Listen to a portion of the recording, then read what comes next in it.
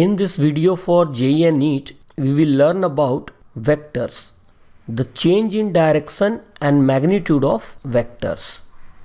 Vectors have magnitude and direction.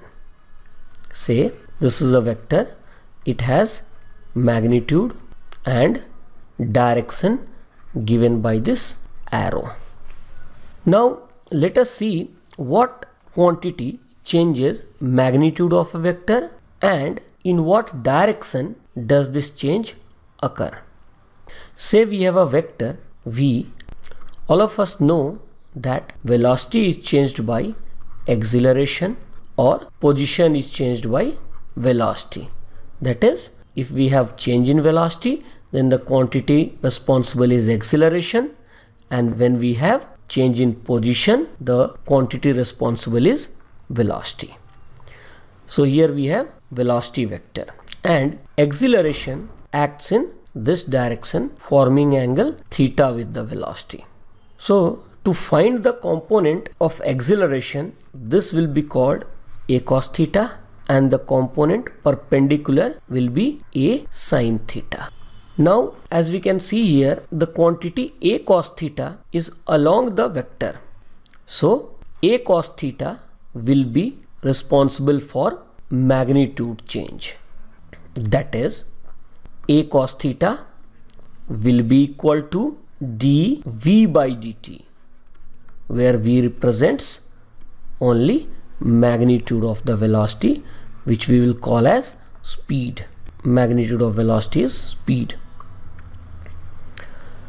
the other component a sine theta which was perpendicular to the velocity vector that brings change in direction because a sine theta acts perpendicular. So it will do what? It will rotate the vector keeping its magnitude same.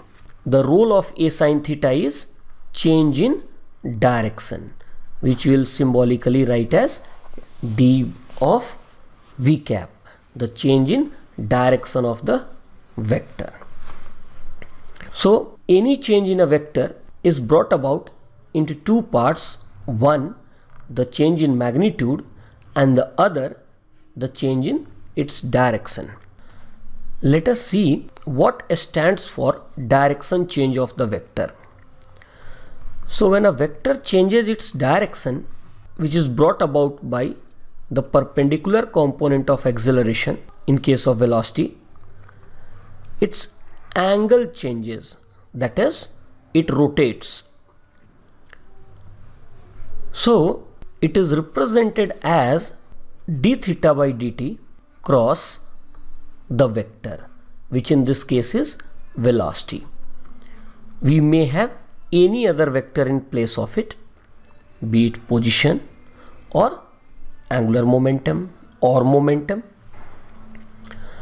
So the quantity d theta by dt cross v has magnitude equal to a sine theta.